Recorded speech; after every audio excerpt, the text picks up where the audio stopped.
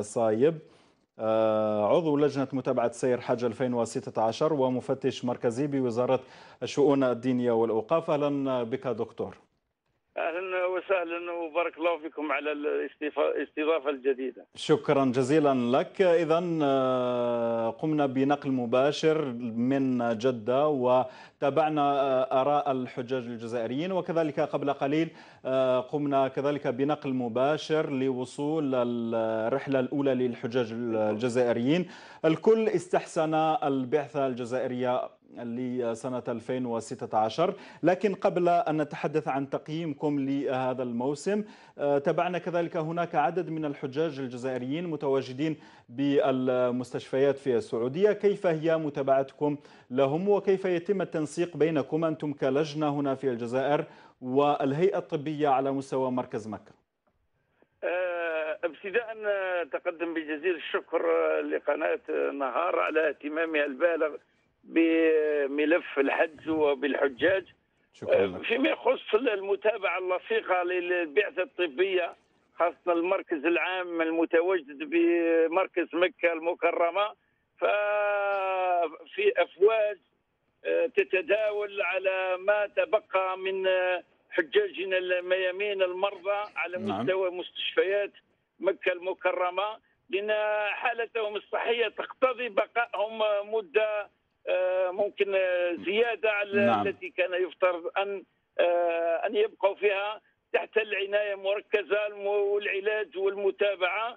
فالحمد لله العدد قليل جدا. وكيف تتواصلون دكتور محمد إيدير؟ كيف تتواصلون مع المواطنين هنا في الجزائر؟ اهالي نتواصل مع هيئات المتابعة الموجودة على أه... مستوى خاصه مركز مكة ومع الهيئات الطبية خاصة رؤساء الفروع الطبية. بالنسبة لمكة والمدينة المنورة هم الذين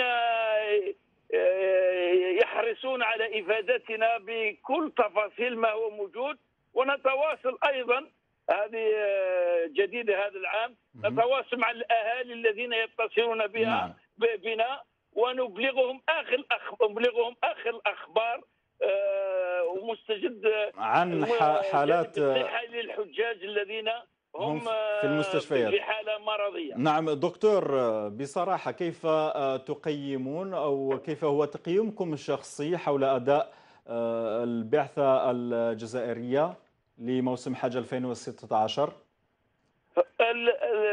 هو تقييم تقريبا هو من اختصاص معالي وزير الشؤون الدينية ولكن التقييم الأولي هو أن هذا العام الأداء كان جد مقبول وسجل تحسنا ملحوظا لا من حيث الإقامة ومن حيث الإعاشة ومن حيث الإقامة في المشاعر في عرفة وفي منن. والدليل على ذلك ما عدا بعض النقائص التي يمكن أن لا تذكر. ومع ذلك نجد أن الأريحية والارتياح مسجل عند الأغلبية أغلبية حجاجنا. والدليل عن ذلك تصريحاتهم بمجرد وصولهم إلى مطار هواري بومبي شكرا جزيلا لك دكتور محمد إدير صايب. عضو لجنة متابعة سير حج 2016 ومفتش مركزي بوزارة الشؤون الدينية والأوقاف.